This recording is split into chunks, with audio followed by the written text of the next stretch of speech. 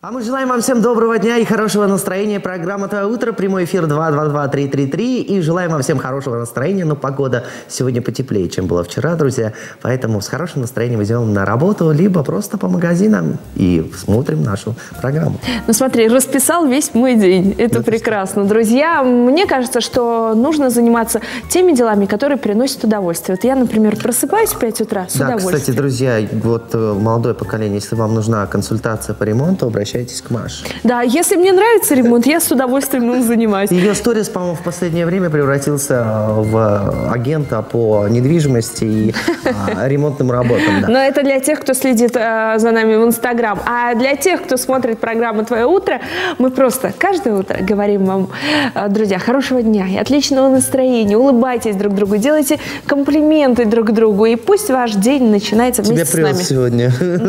Ну, Дорогие друзья, вот от работы, также и от своих дел а, сегодня мы хотели бы вас познакомить с человеком, которому также не безразлична молодежная а, политика, судьба молодежи в городе Октябре. А, Человек, который любит также чистоту. Они с Машей чем-то похожи. Та ремонт делает эту чистоту. Мы приветствуем в студии Бахат Малдагиреева, председателя ЖАС-Канат Ассоциации деловых женщин Казахстана. Бахат, приветствуем. Да. Мне привычнее Бакуня. Вот знаешь, вот так, чтобы вот прям Ну, вот это Бакуня ласково, да, да. Но, но, надо официально, это все представитель Да, утро. Асо- Доброе утро, Ассоциации деловых женщин. А, Бахат, расскажи вообще немного о себе. Мы знаем, что давно у тебя есть бизнес, ты занимаешься общественной деятельностью, помогаешь. У тебя есть э, несколько аккаунтов в Инстаграм, куда люди обращаются с просьбами, помощью и так далее. Вот э, необычная история успеха, которую вы а, признались в одной из беседе, началась с какого-то гаража. Да, да, да. В общем, меня зовут Бахт Мадагреева, все близкие называют меня Бакуня.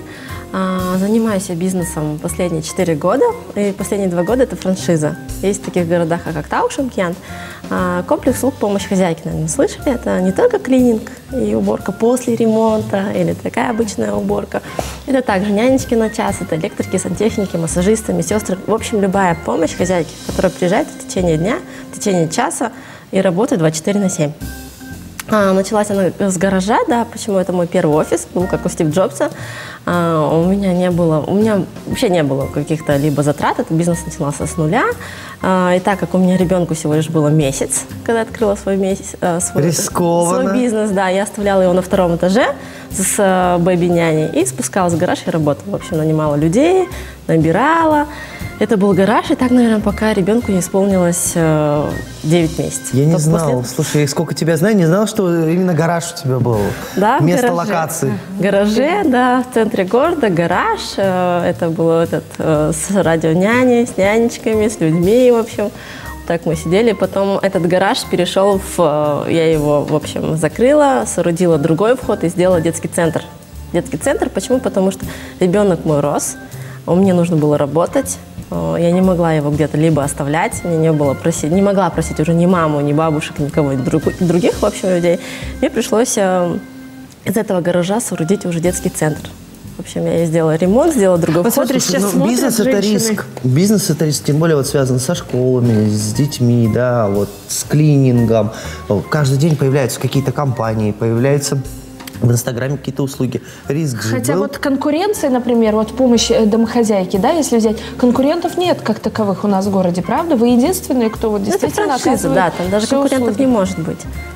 А, в, в общем, любой бизнес это риск, правда? Например, начинающий какой-то бизнес, но нужно исследовать рынок. И я, например, просто фишка в том, что э, не нужно бояться пробовать, нужно искать себя, например, да. То есть, например, даже открывая какой-либо бизнес, нужно мониторить, исследовать рынок. Благодаря Инстаграму это можно делать в пару счетов, например, да. У меня страничка есть «Активе Мамс Клуб», где у меня 35 тысяч подписчиков, да. Э, С этим учетом я просто исследую, например, э, что необходимо этим мамам. И этим мамам было необходимо, например, а, оставить либо детей на пару часов, допустим, кому-то нужно в садик или кому-то нужно в салон красоты. И, в общем, у меня большой спрос именно на нянчик. В связи с чем пришлось открыть именно такой детский центр, куда могли э, мамы привозить детей на пару часов, они могли по- поехать по делам. Вот. Здорово. Бахат, а вот э, как и кем вы выступаете в данном проекте Just Project? Да, вот, я- а, мы о нем сегодня говорили в, в эфире. Мгм. Just Project, э, я там выступать буду ментором для стартаперов. То есть любым вопросом могут подойти, я могу э, то есть, помониторить, вместе исследовать рынок и помочь каким-то либо проектам. То есть исходя из своего опыта. Ну вот смотри, вы были в Астане командой, да? Сколько человек было из Актюбинска? Примерно, не может да, сказать, но много. А какие вопросы там обсуждались? Какие планы вообще? Планы на э, текущий год, 2019 год, это год молодежи, как мы все знаем, да. Очень много, получается, у нас будет повышаться зарплата для волонтеров. Именно э, управление ресурсного центра занимается волонтерами. А в этом году, скажу по секрету, они собираются проводить форум в городе, форум волонтеров. То есть из всего региона Казахстана будет именно локация в Актюбинске. Здорово. Да, потому что наши волонтеры занимают первые места по региону Казахстана. Это круто. Да, это круто. Вообще, какие вопросы часто задают э, стартаперы, да, и начинающие бизнесмены? Что интересует молодежь? Молодежь, ну как начать бизнес, да, и с минимальными какими-то затратами, э, как ничего не бояться, как э, вообще первые два года для любого бизнеса они подшатаны, например, да, и многие просто э, 86% стартаперов, именно начинающих бизнесменов, первые два года бросают свой бизнес. Почему? Потому что что-то не получается, что-то не нравится, как-то не получается, они решают бросать.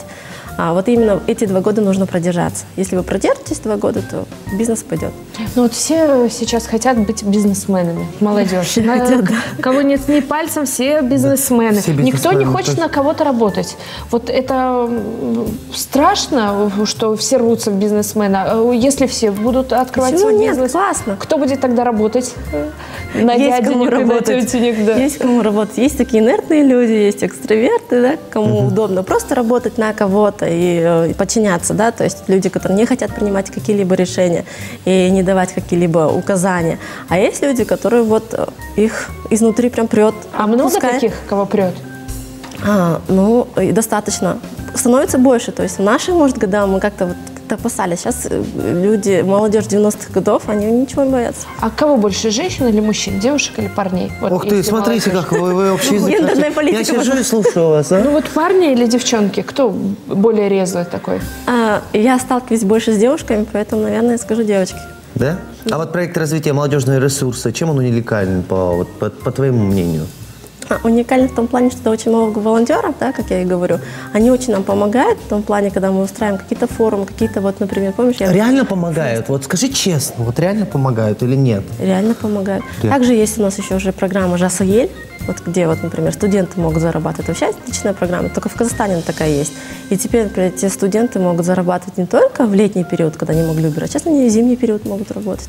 И тем более с этого года, как сказала э, Ельбасе, на 30% они должны повы- повысить им зарплату.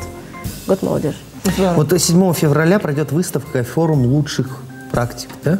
А где а, он будет проходить и будет ли в нем участвовать? А, наши? насчет 7 февраля, честно извиняюсь, я не- пока не в курсе. Не в курсе, да? Но 20 февраля и 21 у нас будет в Астане форум. Вот туда мы едем с А командой. что программа форума включает в себя? У нас будет два дня. Это вся ассоциация деловых женщин Казахстана, именно э, Жасканат, молодежного крыло, будет собираться. То есть из 17 регионов э, все э, молодые девушки бизнес-вумен собираются в Астане на два дня. У нас там локация, у нас будут деловые связи.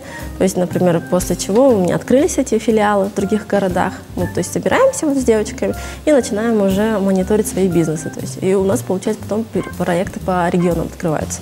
Здорово. Ну вот э, вы такой яркий пример э, бизнес-вумен, да, молодая, красивая, Так ты определись, вы или ты? Да. Ну, это обязывает положение, да, как, так бы я сказала, Бакунь, Я расскажи обожаю мне. вот этих Расскажи, девушек, да. честно. А вот сейчас вы, ну, э, какими качествами должен все-таки обладать человек, чтобы добиться успеха?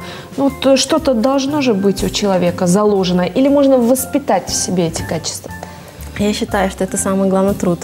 Ежедневный труд, где ты трудишься, э, работаешь над собой, а, ты воспитываешь себя как личность. Также это должен человек быть гибкий, то есть не такой твердолобый, да, и идти на пролом. А, в плане то, что сейчас в бизнесе нужно быть э, лояльным ко всему, лояльным с клиентом э, лояльным быть с персоналом своим. Но самое интересное, что все это дается со временем, и считаю, что вот 1% это все равно какой-то дар одаренности, да, а 99% труда, вставать в 5 утра, приходить на программу «Доброе утро», а потом делать ремонт и ездить по своим да, проектам. То есть это же труд. Вот, колоссальный труд. А как тебе удается еще время оставлять на здоровый образ жизни? Я видел в Инстаграме, ты ходишь там, занимаешься йогой или как это называется? Стретчинг Ну, э, называется. значит, подвески какие-то. Я думал, ты в цирковое училище поступать собиралась, что ли? Ну, э, э, это здоровье. То есть, например, чтобы вести просто активный образ жизни, это нужно также здоровый дух иметь. И, э, конечно, лень. Лень вставать в 8-7 утра, да, идти на тренировки, но ты себя воспитываешь, встаешь, идешь. И вот считаю, что ну, именно после этих тренировок я чувствую себя такой заряженной, энергичной, и дальше иду. А вот есть какой-нибудь проект, который ты хотела бы воплотить? Ну вот смотри, сейчас она тебе так и рассказала о всех своих планах. Да, вот я хотела бы так, а завтра бац, в городе уже есть. Открыли, да. Ну, у меня э, глобально немножко планы. Я хотела бы вообще в помощь хозяйке открыть в каждом регионе Казахстана. То есть, например, э, помочь каждой женщине в каждом регионе Казахстана. И это, Но ведь за этим надо следить, Бахат. Ка- В каждом городе. Разорваться же невозможно. ну, хотя бы поставить кого-то, кто бы следил бы там. Да, ну то есть э, будем расширяться, правильно? Да, в какой бы город Казахстана мы не приехали, дорогие друзья, на постоянное место жительства, да, э, нам всегда м, будет Есть кому Да. обратиться. Вот а, по- вернемся к проекту а, Jazz Project. А, Много ли э, желающих э, сейчас там, в этом проекте? Ну, люди, получается, оставляют свои заявки. Считаю, что много, да. В этом году, получается, у нас Активинская область выделяет а, 40 миллионов на стартап. То есть какой-то есть э, э, тур, да, который нужно пройти, может быть, не один, а несколько, вот чтобы стать участником. Э, что нужно сделать? Наверное, зарегистрироваться. Да. Просто зарегистрироваться и все? А там уже Да, берут. дайте. Да. Бахат, спасибо большое, просто, что сегодня самом пришла в нашу студию. Э, У тебя уже начался день э, рабочий, как и у нас. А Мы хотим пожелать тебе успехов, продвижения, ну, чтобы все идеи были реализованы, это как минимум. Друзья, напомню, Бахат Малдагиреева, председатель ЖАС Канат, Ассоциации деловых женщин Казахстана, была сегодня у нас в гостях. А, Мы желаем вам всем доброго дня и хорошего настроения. Далее в нашей программе мы также расскажем об интересных проектах а, нашего города, которым также руководят молодые люди. Вот, э, не пропустите и, конечно, ждем ваших комментариев в социальных сетях. Увидимся на Рика ТВ совсем Спасибо скоро. большое. Не переключайтесь.